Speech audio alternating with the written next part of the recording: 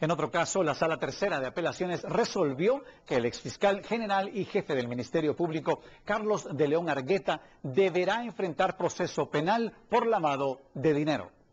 La Sala Tercera de Apelaciones revocó la resolución que emitió la titular del Juzgado Sexto de Sentencia Penal, Silvia de León, el pasado 24 de mayo, al considerar falta de mérito que dejó fuera de todo proceso a Carlos de León Argueta, exfiscal del Ministerio Público entre el 2002 y 2004.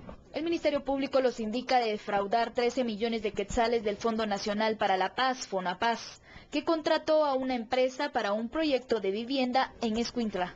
Por su parte, el exfiscal se presentó al juzgado sexto. Entonces, como corresponde, yo estoy haciendo aquí acto de presencia en el juzgado sexto, porque mientras no me notifiquen a mí que el tribunal es el que el juzgado va a conocer, yo estoy acá y en este momento no solamente vengo a ponerme a disposición, sino incluso traigo mi pasaporte para, si es necesario, dejarlo en depósito, porque no tengo ninguna intención de salir del país. La sala ordenó que De León Argueta deberá enfrentar proceso penal por el delito de lavado de dinero y otros activos. Por una Guatemala en paz, Verónica Orantes y Marvin Pérez.